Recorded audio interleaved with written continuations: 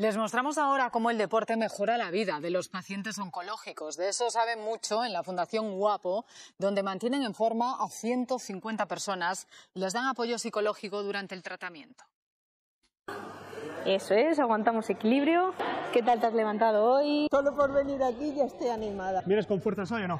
Toco y subo. Pacito y arriba fuerte. Eso es. Aquí a Marian y a Oscar les llaman atletas y durante una hora dejan de ser pacientes. Hace siete años me operaron de cáncer de mama y a los cuatro años me detectaron metástasis. Eh, me diagnosticaron un cáncer de colon en julio del año pasado. Desde enero estoy en un ensayo. He estado con un tratamiento de quimio durante ocho meses. Psicólogos, nutricionistas y preparadores físicos les hacen el camino más fácil a 150 personas mientras reciben sus tratamientos oncológicos. Yo me sentaba en el sofá y casi no me podía levantar. Entras en un estado de agotamiento permanente, que hacer ejercicio, activarte, tener en la mente la rutina de venir a entrenar, te ayuda a sobrellevarlo un poco mejor.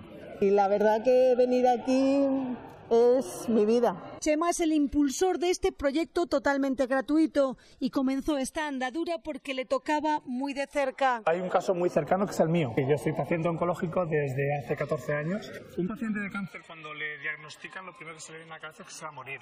Y hay algo que me gusta mucho decir que es que ahora nos da por no morirnos.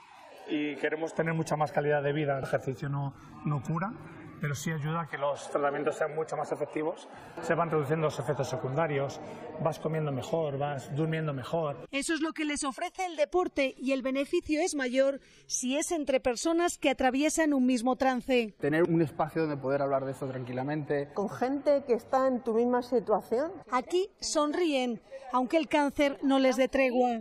Cuando tienes metástasis los tratamientos hasta que van dejando de funcionar. Porque aquí son simplemente atletas y cada uno debe llegar a su propia meta.